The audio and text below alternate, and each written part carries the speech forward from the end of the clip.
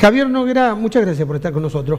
Al contrario, muchas gracias por la invitación. En este 2020, finalmente el proyecto del tren elevado, ¿qué va a pasar? ¿Cuánto va a avanzar? ¿Se va a hacer un preproyecto ya? ¿Ya lo, ya lo vamos a tener? Bueno, eh, eh, hasta acá, eh, durante el año pasado, para nosotros ha sido realmente una experiencia muy importante y valiosa porque hemos avanzado en lo que se refiere a los consensos locales básicos, me refiero, digamos, al acompañamiento que hemos tenido de los consejos deliberantes y de los municipios que están involucrados en el proyecto, que hemos avanzado también en presentarlo en sociedad eh, desde la Federación Económica hasta las universidades y eso ha sido, digamos, muy valioso también para nosotros y eh, hemos llegado ya a un, a un estadio de, de formulación del proyecto que es muy importante porque eh, ahora lo único que ya nos está faltando es la ingeniería de, detalle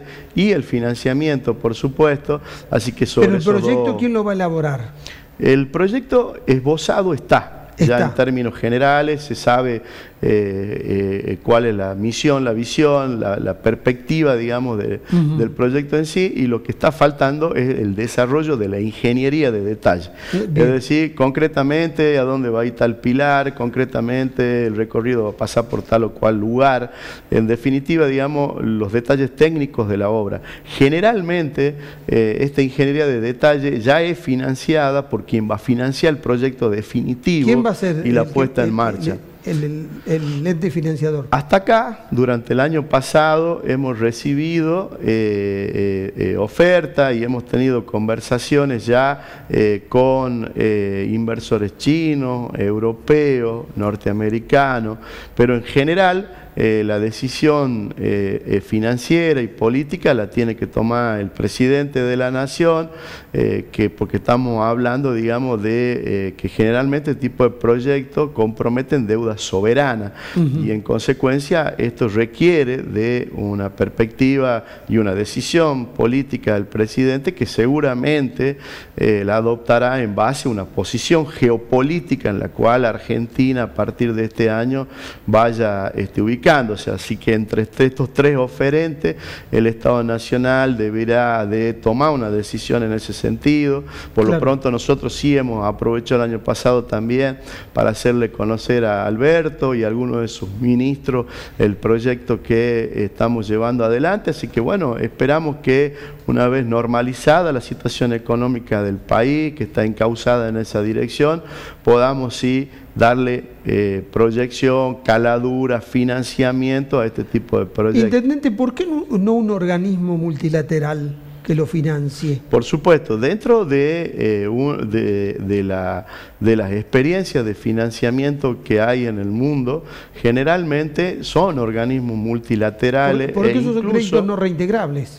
En, eh, en, algunos casos es probable que no haya crédito eh, no, reintegrable, no he conocido otras experiencias, pero por ejemplo el caso del metro de Quito, que se ha terminado de ejecutar hace poquito, eh, ha sido financiado por cuatro organismos multilaterales de, de crédito, una experiencia muy interesante y se trata, digamos, de un financiamiento de 2.300 millones de dólares, en el cual se le ha dado a Quito entre 15 y 20 años de gracia, primero son 15, prorrogable cinco años más y con una tasa de interés del 2% anual. Es plata prácticamente regalada.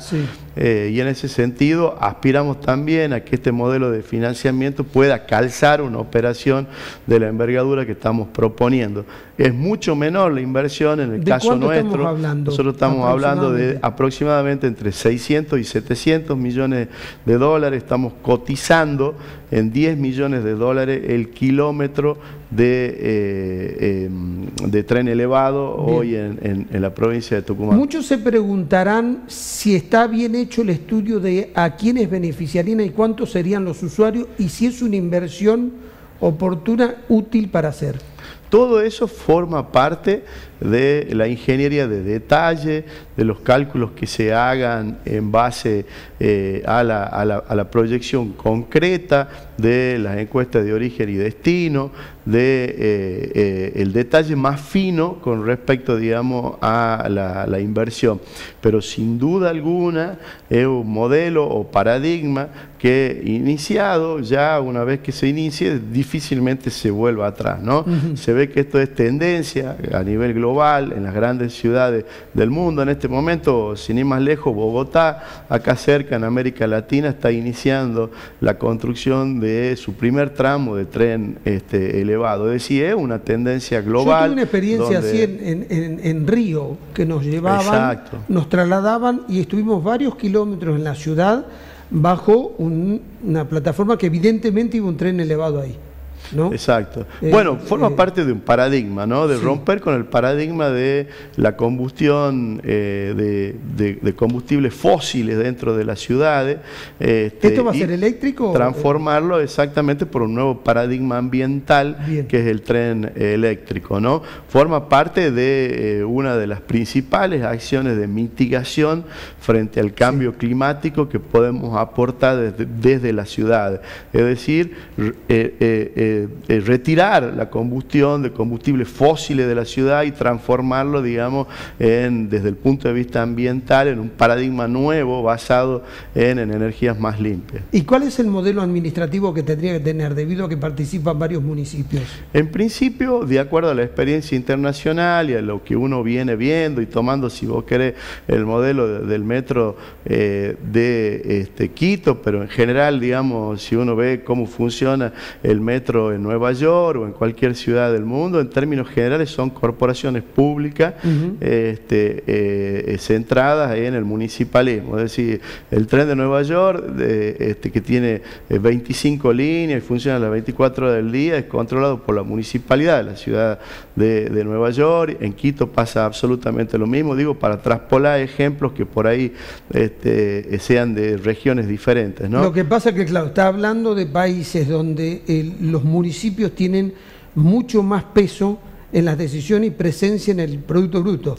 A ver, en Argentina, cuando uno ve el gasto público total provincia, eh, nación provincias y municipios debe ser uno de los países donde los municipios gastan muy poco porcentaje respecto a lo que es la región y el mundo. Así es, y es donde, donde necesariamente debería ser al revés, porque... Sí, pero hay que dar esa discusión, sacarle a las provincias y a la nación para que a los municipios. Por supuesto. pero bueno, pero es un paradigma que, que, funciona en el mundo. Funciona en el mundo y en la Argentina y en América Latina de a poquito también va en esa misma dirección, porque las demandas este, sociales se concentran en las alcaldías los municipios, la gente nos exige ya seguridad, educación, transporte, que el transporte sea eficaz, que sea seguro y en consecuencia quienes pueden y deben resolver esa situación somos los municipios. Lo que pasa es que para nosotros los ciudadanos practicar la democracia es más fácil con el intendente que con el gobernador y mucho más fácil que con el presidente. El presidente es inllegable, el gobernador muy difícil llegar, en cambio el intendente sabemos dónde vive, sabemos dónde está,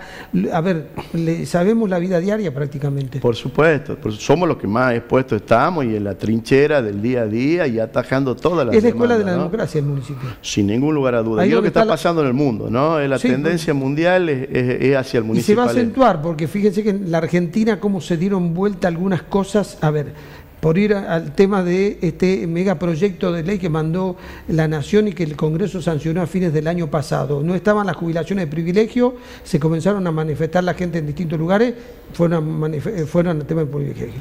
En, en, Mendoza, con el tema del agua, del agua eh, de la explotación minera, tuvieron que derogar una ley porque hoy los tiempos que tienen los gobernantes, me imagino que usted lo experimenta, son mucho más cortos frente a la reacción de la gente para no llegar a situaciones... Sin duda.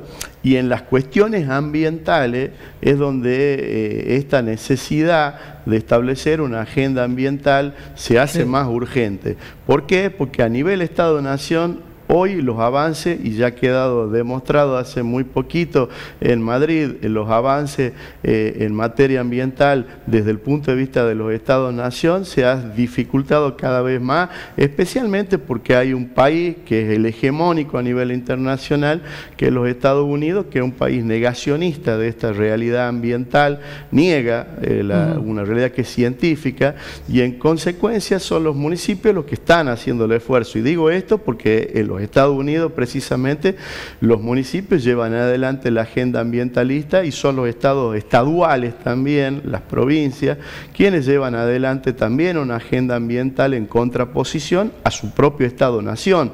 Es decir, desde el punto de vista de los Estados-nación hay una enorme dificultad para impulsar una agenda ambientalista ambiental. En consecuencia, son los municipios quienes deben llevar adelante esta tarea en este momento que es tan importante, digamos, para el futuro de la humanidad. Sí, voy a tener una digresión que tiene que ver con apoyar mi, relato. ¿eh? Seguramente eh, el, suyo será diferente. Yo fui muy crítico al 30% que le pusieron en la compra de dólar, porque además es una devaluación del 30%. Pues decía que es muy importante que los argentinos salgamos al exterior, porque cuando uno sale al exterior está demostrado que se multiplican las conexiones neuronales, porque uno está en un espacio diferente, en un lugar diferente, y ve cosas nuevas y aprende. Usted nombra Quito, eh, Quito Madrid, eh, Estados Unidos porque viajó y estuvo. Y cada vez que usted fue y vino y nos contó, siempre aprendió algo. Todo viaje enseña. Así es, y es iniciático para nuevas eh, eh, tareas o nuevos emprendimientos que uno Porque uno va a sociedades que resolvieron problemas que uno tiene sin resolver. Así es. uno aprende. Así es. ¿Eh? Hay que copiar y pegar lo mejor. Hay que copiar. Vayamos al tema de la planta de tratamiento y separación. ya están los, doble los dos turnos. Así es, realmente durante el año pasado hemos tenido una evolución muy importante en la cantidad y en el volumen de este, material tratado, también hemos aumentado un turno más, habíamos iniciado el primer año con un turno, ahora tenemos dos turnos, eh, y al mismo tiempo también hemos incorporado nueva tecnología. Uno de los 40 materiales que estamos clasificando desde hace dos años, que no tenía eh, este, solución comercial porque nos costaba más caro el flete que el negocio, es precisamente el Tetra Pak, el resultado de los Tetra Brick.